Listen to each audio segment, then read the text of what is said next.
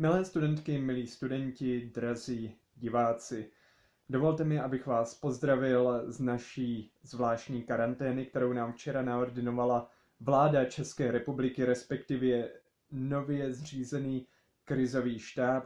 V tomto videu bych se vám především rád představil a ujistil vás o jedné věci, která zejména trápí maturanty.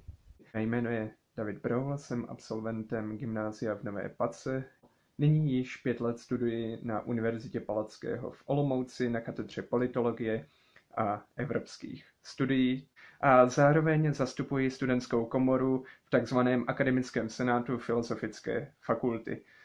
Každá univerzita má své akademické senáty, jak na fakultní úrovni, tak pak jeden velký na celou univerzitní úrovni. Já jsem v tom nižším, kde se zabýváme rozpočtem univerzity, eh, vznikem různých nových programů a poté jako studentská kurie se také zabýváme problémy studentů. A nyní už bych se rád obrátil právě na maturanty.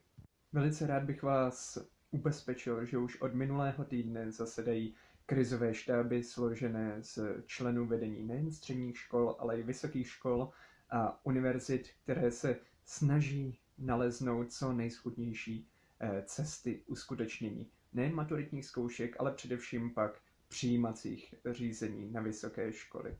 Takových podmínek, které vám zajistí co největší komfort a umožní vám dostatečně se na zkoušky připravit. Taktéž vás mohu ubezpečit, že jako členové studentské komory Senátu jsme do, toho, do tohoto procesu začleněni. Eh, především je, je naše funkce poradní, co se týče komunikace univerzit ke středoškolákům. Snažíme se zajistit, aby tato komunikace měla co nejhladší průběh, abyste byli včas informováni a především informováni zcela a co nejpřátelštější podobě o průběhu přijímacích řízení, času jejich konání a tak dále a tak dále. Proto bych vás rád eh, poprosil o jednu věc. Sledujte pravidelně své e-mailové schránky a především pak sociální sítě univerzit a vysokých škol, na které se chystáte. Rád bych poděkoval studentům z deníku GimNP za nabídku obracet se na vás v pravidelných videoreportážích v této zvláštní době.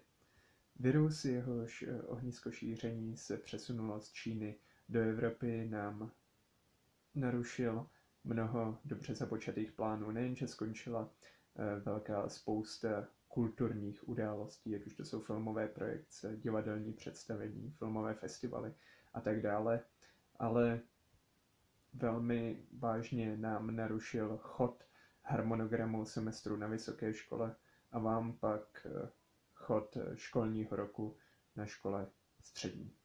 Uvidíme, jak se bude situace nadále vyvíjet. Já jsem v každém případě v kontaktu, jak s univerzitou, tak se studenty eh, deníku GimNP, s nimiž jsem se dohodl na pravidelných příspěvcích, které jsme si pracovně nazvali Pozdravy z karantény, eh, které by se měly týkat eh, zejména novinek z oblasti univerzity směrem ke středoškolákům, což by mohlo být zajímavé zvláště pro budoucí současné maturující ročníky. Eh, přátelé, opatrujte se mi do příštího týdne, dodržujte základní hygienické návyky, pokud možno moc nechoďte ven, když půjdete ven, zkuste si vzít do roušku, jestli ještě nějakou seženete a budu se na vás zase těšit za týden.